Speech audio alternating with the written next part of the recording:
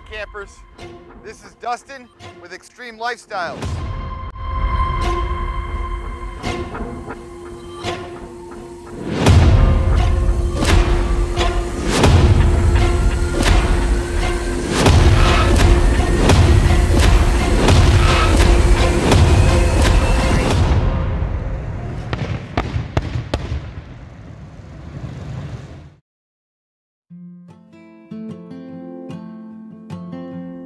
I've been residing in my self converted 2040 Econoline van that I have named Mylz. I invite you to come join my YouTube journey showing my van life, epic adventures, and camper walkthroughs. Come follow along.